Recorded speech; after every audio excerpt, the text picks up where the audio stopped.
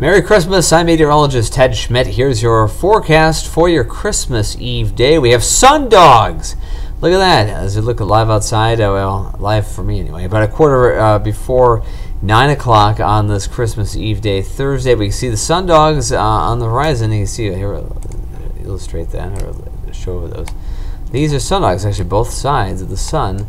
You see uh, the sun's uh, rays refracting through a layer of very cold air. There's that uh, some frozen ice crystals in the air, and that happens a lot of times right after a storm, a storm system moves through in the winter. You know, that leftover uh, little extra uh, crystal debris, these little little crystalline, uh, uh, basically bits of uh, snowflake in the atmosphere, and so you see that, and that's where the sun's rays right at that certain angle above the horizon. Another hour or so, it'll be gone but right close to the horizon, you see that about 20 degrees off the ground, I believe, is, is the, about the, the, specification. Within about 20 degrees of the ground, you can see those uh, the sun dogs, and it's just an optical illusion, but kind of cool to see that. And that's looking outside from Assisi Heights, so that Golden Group camera, 18 degrees uh, rather 4 degrees below zero, the 18 mile per hour wind. Did I get that wrong? 18 mile, uh, degrees is what we had yesterday, uh, but, but last night we were on the way down. And for this is, we've, I think, basically hit rock bottom here. 4 below zero. Current temperature from here, we'll make our way back to about 5 later today. So not a very warm day by any means. The coldest of the season, coldest of this week overall. But the winds, 18 miles per hour, that makes it feel a whole lot colder. Uh, wind chill levels today will be in that uh, 15 below to 25 below zero range. We do have a, a wind chill advisory. It runs until noon today.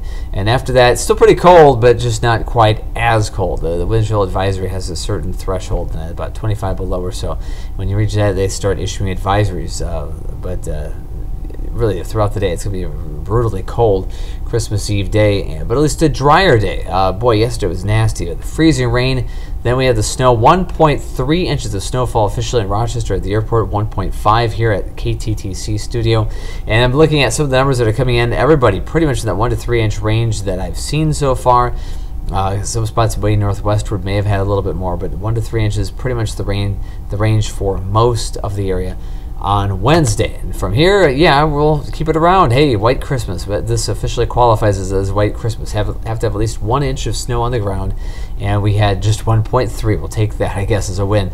Uh, the, the, downside is uh, it's brutally cold outside. Uh, it is just not a pleasant day. 5 degrees, the expected high temperature day. This winds, look at this, 15 miles per hour all day long, gusting around 25, 28 this morning. Uh, subsiding a little bit this afternoon, but still pretty rough breeze, and that is going to keep that wind chill at the very best uh, to 10 below zero. It'd be colder than that for the most part, though. Sunset 4:37 later today, and uh, as we look outside, there's even more blue in the sky overhead, looking northward from our studio. Four below zero, 26 below officially at the airport. Air pressure rapidly rising. 29.91 inches of mercury. That is high pressure coming in behind the departing storm system. The, the pressure gradient, though, the difference between that strong, dry Canadian air mass and the departing storm system producing some pretty rough winds for us.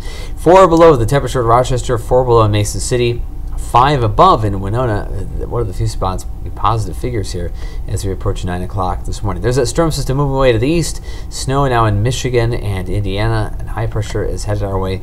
But again, here's that wind chill advisory. All the blue counties in that until noon today, 15 to 25 below zero, the way it feels.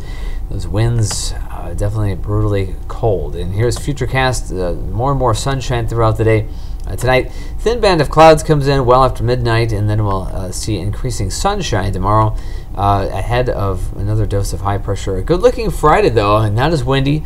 Uh, a little bit warmer. Temperatures tomorrow make their way into the um, low 20s, and by uh, Saturday afternoon, upper 20s, with even lighter winds than that. So a lot of sunshine for the next couple of days and a little less in the way of wind heading into the heart of the weekend. Uh, there is some more energy. Look to the northwest. You see some of that up there. Uh, this some cloud cover coming in from the northwest that will come in for Sunday. Eventually, bring us uh, some flurries as the system kind of grazes us to the south and southwest. Temperatures today around five above in Rochester, Austin, eight, 10 Mason City. Wind chills again 15 to 25 below zero. Those winds uh, 15 to 25 miles per hour. But again, 5 degrees is 20 degrees below the seasonal average and 42 degrees colder than yesterday's high temperature. Now, that is a big difference. Uh, tonight, partly cloudy, wind chill around 20 below zero. Northwest winds 10 to 20 miles per hour. And tomorrow, mostly sunny, uh, pleasant Christmas day, at least a pleasant looking one. Compared to today, it's a whole lot better. Still, 20 is about 5 degrees below average, but not nearly as windy and even sunnier. So we'll take that for a great looking Friday, Saturday, Sunday, Monday. Well, some variety. Saturday looks pretty good. Sunday, some flurries. Not a bad day. A little bit of a, more of a breeze too in the afternoon. Uh, maybe 15 to 20 miles per hour. So the wind chill in the single digits. Flurries there, and then behind that Sunday storm system, another blast of colder air. 14 the high on Monday. And if you see the seven day forecast, that'll be the coldest day of next week. Chance of light snow as it stands right now, that'd be late Tuesday, arriving maybe 5 or 6 o'clock in the evening and then lasting all the way through Wednesday. High temperatures those days in the 20s, and then we'll cool off for New Year's Eve day next Thursday. And uh, New Year's Day also only in the teens, I think, next Friday. But that storm system is, is one we'll be watching pretty closely. As it stands right now, we may end up with several inches of snowfall out of that. We're going to be uh, certainly watching that pretty closely, and uh, we don't have any really concrete evidence of it, the exact totals right now, uh, but we are looking at the possibility of maybe six or more inches. It is a possibility so far out of that Wednesday storm system next week. So that'll be interesting. But in the meantime, uh, now we kind of uh, you know try to recover from yesterday's snow and try to just stay warm. So have a great day, everybody. A great Christmas. I'll be back here. Actually, my next day in the job will be next year, New Year's Day. Actually, I'm working next Friday, of all things. I have a one-day work week next week, but it is a Friday. It's a holiday. But you know that's how it goes. Sometimes we take our turns on holidays, and I've got tomorrow off, so I'm pretty excited about that. Anyway, have a great Christmas. See you back here next week, next year too.